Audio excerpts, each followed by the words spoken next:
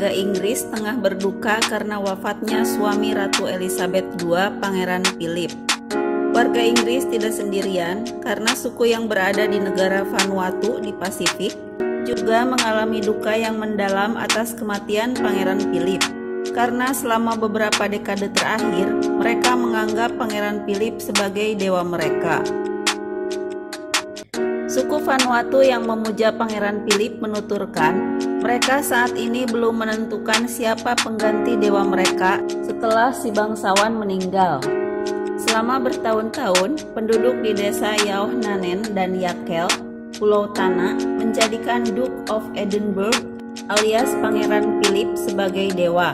Seperti diketahui, suami Ratu Elizabeth II itu meninggal dalam usia 99 tahun pada hari Jumat tanggal 8 bulan 4 tahun 2021 di Kastil Windsor.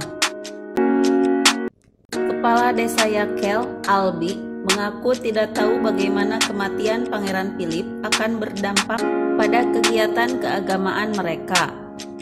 Puluhan orang dari suku tersebut berkumpul dalam sebuah upacara untuk mengenang Pangeran Philip. Selama beberapa minggu ke depan, penduduk desa secara berkala akan bertemu untuk melakukan upacara bagi Duke of Edinburgh yang dipandang sebagai keturunan dari roh atau dewa yang sangat kuat yang tinggal di salah satu gunung mereka. Kata antropolog Keith Hoffman yang telah mempelajari suku-suku tersebut sejak tahun 1970-an.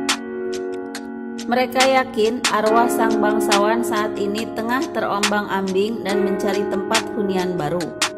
Mereka akan melakukan tarian ritual, mengadakan prosesi, dan memamerkan memorabilia Pangeran Philip.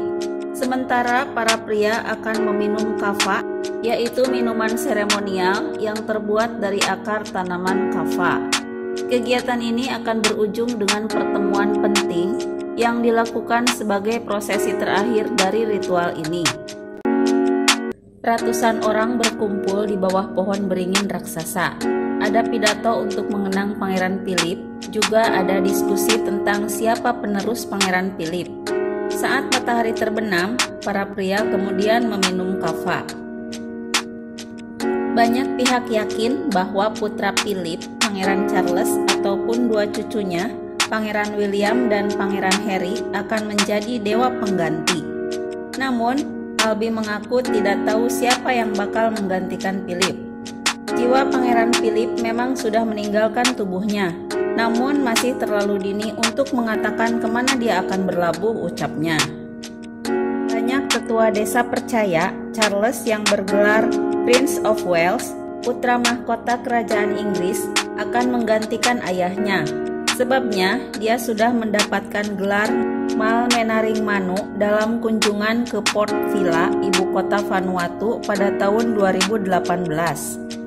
Para pemimpin suku menyatakan mereka sudah mengirimkan pesan kepada kerajaan setelah Philip meninggal tanpa menjabarkan isinya. Agama Pangeran Philip diyakini dimulai pada tahun 1950-an Keyakinan mereka makin kuat ketika Pangeran Philip mengunjungi Vanuatu dan bertemu dengan anggota suku tersebut. Ketika Vanuatu masih bagian dari wilayah koloni Inggris. Koloni ini dulu bernama New Hebrides.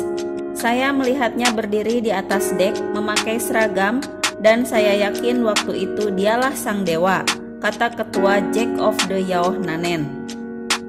Ketika koloni Inggris datang ke Vanuatu, anggota suku di Tanu melihat foto sang Duke of Edinburgh itu dan menyimpulkan dia adalah jelmaan dari roh yang mereka percayai itu.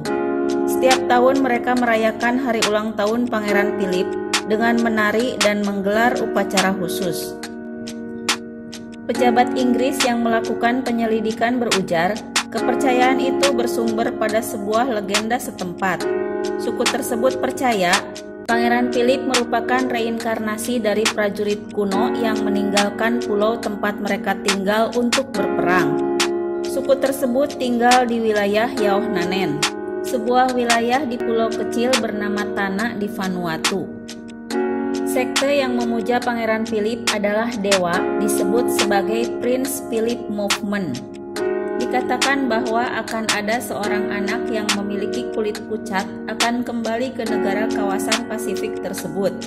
Mengingat Book of Edinburgh tidak berasal dari Inggris, Prancis, atau Amerika Serikat, maka mereka berasumsi dia berasal dari tanah.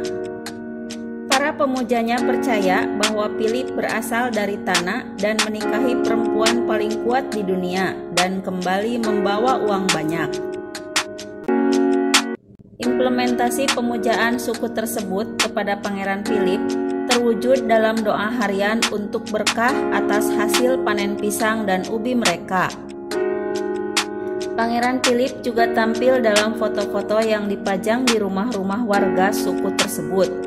Selama setengah abad terakhir, gerakan pemujaan Pangeran Philip berkembang pesat di desa Yakel dan Yauh Nanen, Vanuatu. Pada puncaknya, gerakan ini memiliki beberapa ribu pengikut. Namun kini jumlahnya diperkirakan telah menyusut menjadi beberapa ratus orang saja.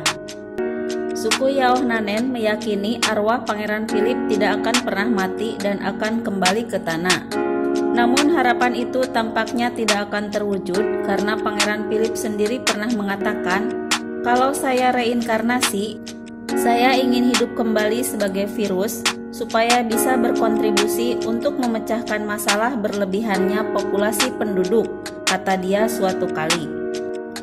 Para antropolog menduga fenomena tersebut merupakan upaya desa setempat untuk terhubung dengan dunia luar. Meski dikenal akan reputasi politiknya yang kurang baik, Philip begitu dipuja oleh penduduk setempat.